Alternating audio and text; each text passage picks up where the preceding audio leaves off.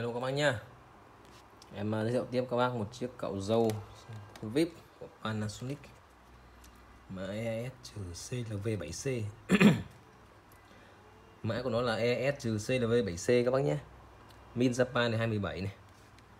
Đó, chiếc máy này thì còn rất là đẹp. Tuy nhiên thì có một chỗ này nó bị xước một chút này. Coi bác này. Có nhìn thấy không ạ? Đó, có đến thời gian chạy Hiển thị phần trăm pin này. 90% pin. Và có một cái hộp để sạc và vệ sinh máy. Rất là đẹp. Đây là cái nắp chụp à, bảo vệ lưỡi này. Dòng trăm máy chỗ vệ sinh và cục sạc. Con này thì em sẽ bán rẻ hơn một chút các bác nhé tại vì cái chỗ này nó hơi bị uh, xước một chút. Đó. Còn một chiếc uh, duy nhất này thôi. Máy vẫn là rất là đẹp zin nguyên bản hết các bác nhé. Hơi xước một chút. Ờ, trước có mấy cây đẹp hơn như thế này thì giá tầm 4 triệu hơn 4 triệu một chút. Cây này xước một xíu này thôi. Em giảm giá cái này được 3 triệu rưỡi các bác nhé. Đó tại vì còn một cái này duy nhất là nó hết cái hàng à, này rồi. Nó có mấy ngày hôm nay mà em bán đây các bác nhìn cái kệ.